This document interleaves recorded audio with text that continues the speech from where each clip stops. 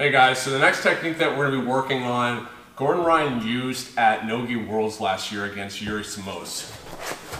So here in this floating position, Yuri ended up going with an underhook on the leg and gable gripping to control the knee line here. And so now this is a very strong grip that kills movement on the right side of my hip, and there's no way I'm gonna be able to kick my leg up and over to perform any of the stuff that we've been working on later.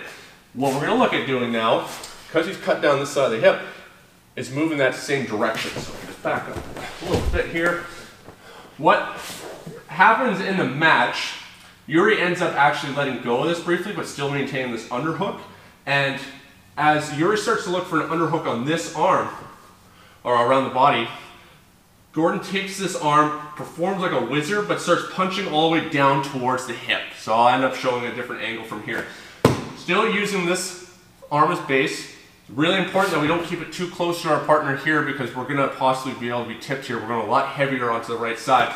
And what Gordon does is just kicks. He drops his knee down here and kicks this leg back to disconnect from the opponent's hip and leg. So here, kicks, and ends up sprawling out here. And because he had that overhook, this arm is now blocking the hip. So that if Kevin tried turning up into me, I'm able to block it, and he's able to stop Yuri from being able to ever actually use his wrestling. So we go to the other side.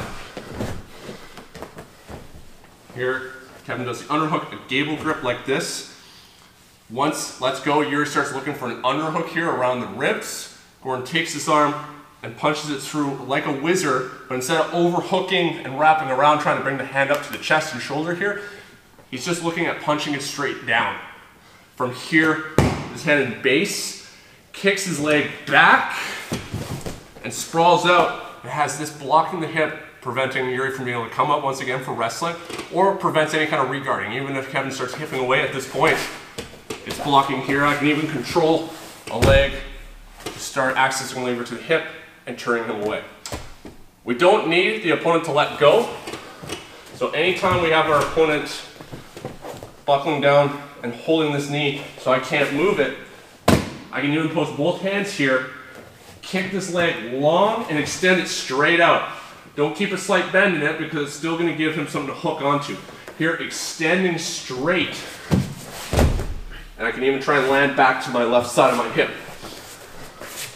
So if I can't have my arm, we always need something blocking this hip to prevent any kind of reguarding. It can be my hip, it can be my shin, it can be my arm.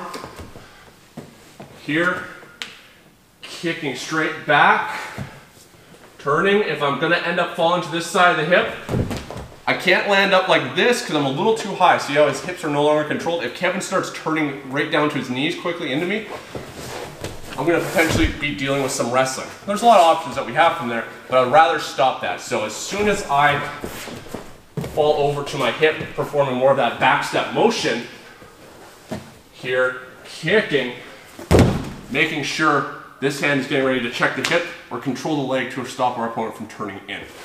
We can also do this one if we have our leg hooked with that shin on shin that we did within the second video. So here I have a lot of base with my foot in contact, so I do have more base. It's going to be stronger for me to actually perform that donkey kick like an X-Pass. But if Kevin's holding on to my leg here, and I get this shin on shin, I can still try and use this to push myself off here. So I'm going to use his leg as base because he's going to be keeping tension so that I'm able to kick myself back and pass. So here I got my knee closer to his hip and my hip dropping a little bit low, pinching with my elbow, boxing in his hips here. If your partner or opponent ended up going completely soft with this leg here and it becomes weak, then even though he's holding onto this leg, I'm going to be able to push this by and we're going to start landing in three quarter mount and we can start setting up attacking the back or undoing this afterwards. This is still a very good position of dominance.